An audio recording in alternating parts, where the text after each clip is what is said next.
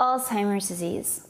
Alzheimer's disease is a serious brain disease that is affecting 5.5 million people in the United States today. Most are over the age of 60. Every 67 seconds, someone in the United States develops the disease. In fact, Alzheimer's disease is the sixth leading cause of death in the United States. One in three seniors die of Alzheimer's disease or dementia. Two thirds of those suffering with the disease are women, and the disease affects blacks about twice as commonly as whites. The number of persons with Alzheimer's will grow as the population of those over the age of 65 rises. It is the only disease in America in the top 10 that cannot be prevented, cured, or slowed. In 2015, Alzheimer's disease and other dementia will cost the nation $226 billion, and by 2050, this may rise to $1.1 trillion. Alzheimer's disease is the most common form of dementia, a general term that describes a group of symptoms including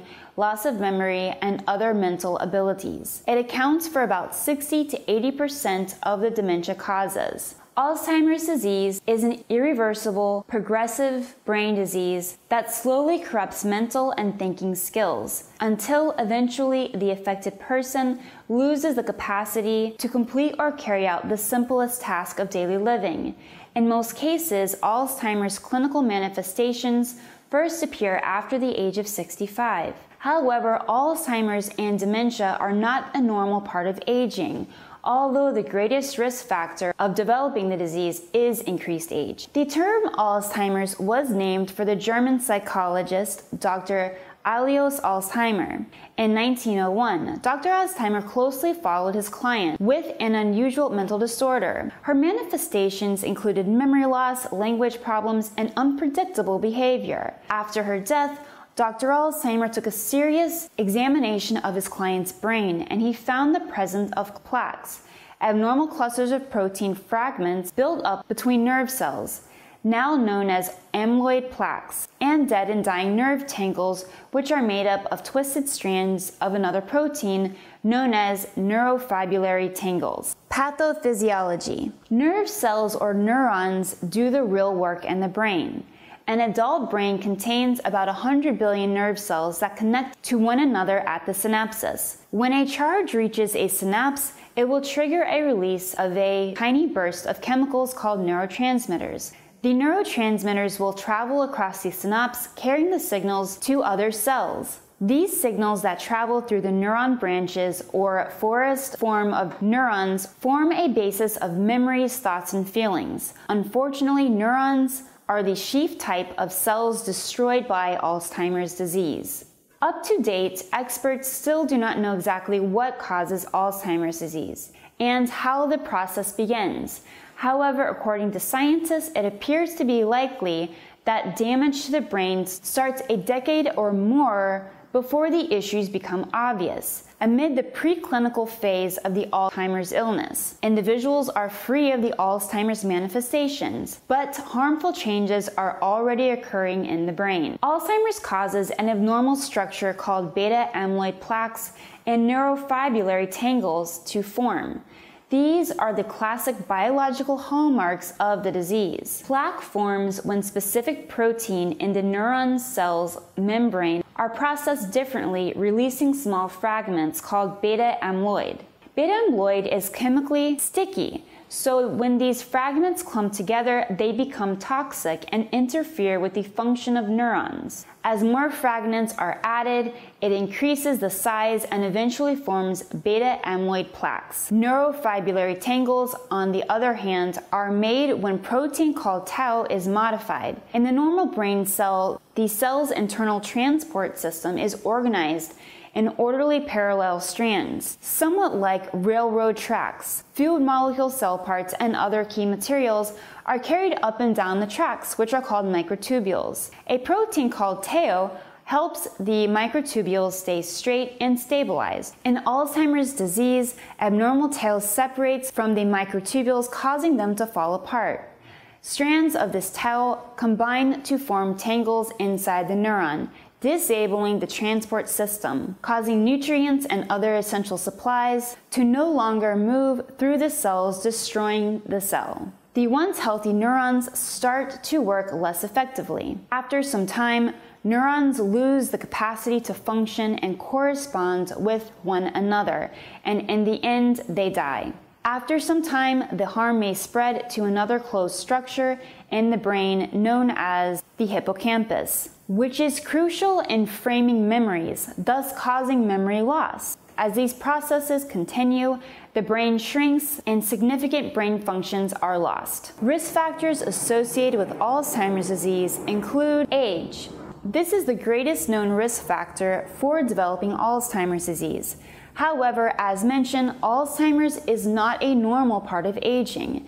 It is more likely to affect older individuals and in a greater proportion of those 85 years or old have it. Family history. Having Alzheimer's disease in the family is associated with higher risk. It is second biggest risk factor after age. Having certain genes, for instance, apolipoprotein E or the APOE gene puts an individual at 3 to 8 times more at risk than an individual without this gene. Being female, a great number more ladies than men are influenced with this disease. Signs and symptoms. As mentioned before, changes occur in the brain of those with Alzheimer's disease years before any signs of the disease are evident. This time period, which can keep on going for quite a long time, over years, is referred to as the preclinical Alzheimer's disease phase. Over time, the symptoms of Alzheimer's disease advance gradually in three general stages mild, moderate, and severe stage. In the mild stage, which is the early stage, in this stage, the client can still function independently. However, there may be instances where the client and his significant others may notice some memory and concentration problems with the client, which may include difficulty coming up with the right word or name, problems remembering the name when introduced to new people, taking longer to perform a task in social or work settings, forgetting material that one has just read, losing or misplacing a valuable object, experiencing an increase in problems with planning and organizing, in the moderate stage. This is the middle stage. This stage is typically the longest, which can last for many, many years. In this stage, damage to the brain may include areas that control reasoning, language, sensory processing, and conscious thought. The client may require a greater level of care, and symptoms may be obvious to others. The symptoms may include forgetfulness of events or about one's own personal history, feeling moody or withdrawn, especially in socially or mentally challenging situations, being unable to recall their own addresses, telephone numbers, or the high school or college from which they attended, confusion about where they are or what day it is, needing assistance in choosing proper clothing for whatever the occasion or reason, trouble controlling bladder and bowels in some individuals, changes in sleep patterns, such as sleeping during the day and becoming restless at night, thus increasing the wandering risk and becoming lost, personality and behavioral changes, including suspiciousness and delusions or compulsive and repetitive behavior like hand wrinkling or tissue shredding. Severe stage is the late and final stage of Alzheimer's disease. In this stage, the client's memory and cognitive skills continue to worsen. Near the end, the client may be in bed most or all of the time in this advanced stage as the body shuts down. In this advanced stage, the client may require full-time, round-the-clock assistance with daily or personal care. They may lose awareness of recent experiences as well as their surroundings, require high level of assistance with daily activities and personal care. They may also experience changes in physical abilities, including the ability to walk, sit, and eventually swallow. Having increasing difficulty communicating, becoming vulnerable to infections, especially pneumonia. These three stages give you a general idea of how abilities change once manifestations appear and should only be used as guidelines since each Alzheimer client may manifest symptoms differently. So, the rate at which the disease progresses from individual to individual depends on many factors. On average, a person with Alzheimer's lives about 4 to 8 years after diagnosis. However, some have lived 20 years or more. Be aware that it may be hard to place a client with Alzheimer's in a particular stage, as stages may overlap.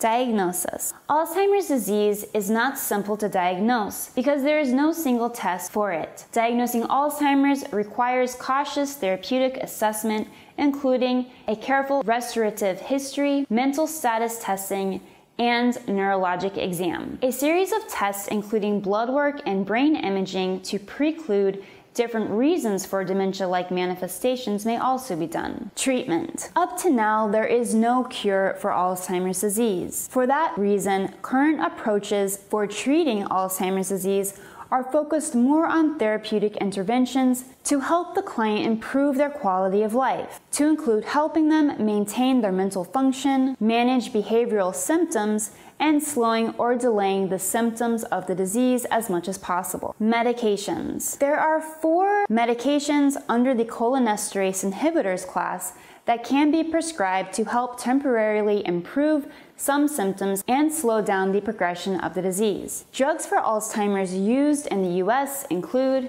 Aricept, Reminyl, Exelon, and Cognex. Namenda is another type of drug known as an NMDA receptor agonist. It may also be used alone or in combination with a cholinesterase inhibitor and may be prescribed for mild stage Alzheimer's or for those who cannot take the others recommended for some reason, or for those with a late stage of Alzheimer's. Supportive measures. Besides medication, a wide range of supportive measures and treatments may help the client live as independently as possible. Psychological treatments such as cognition stimulation may be offered to improve memory, problem solving skills, and language ability. Relaxation therapies may also be offered to help reduce depression, anxiety, agitation, and other challenging behaviors that often present with Alzheimer's disease. Practical tips for individuals with Alzheimer's might include keeping a diary and writing down things that are important, mounting a weekly timetable to the wall, putting keys in an obvious place, such as a large bowl in the living room, putting labels on cupboards and drawers, keeping useful telephone numbers by the phone, having the patient write reminders and post its in obvious places, setting an alarm clock to act as reminders, installing safety devices such as gas detectors and smoke alarms throughout the house. Similarly, as well as with different types of dementia and neurodegenerative disease, a real piece of the treatment for patients with Alzheimer's originates from the support given by caregivers to give the client quality of life care, which gets to be more critical as needs increase with declining independence. For clients nearing the end of life, the healthcare team should assess the needs, making the client comfortable and enable them to die with dignity in a place of their choosing. In summary, what's on the horizon for the science of Alzheimer's? There is increasing research going on to help those suffering with this deadly disease. Worldwide quest is underway to stop, slow, or even prevent Alzheimer's disease. An organization called the Alzheimer's Association funds research as they search for new strategies to look for a cure. Alright guys, stay tuned. In the next video, we're going to go over nursing exam or NCLEX style questions related to Alzheimer's. I'll see you in a bit.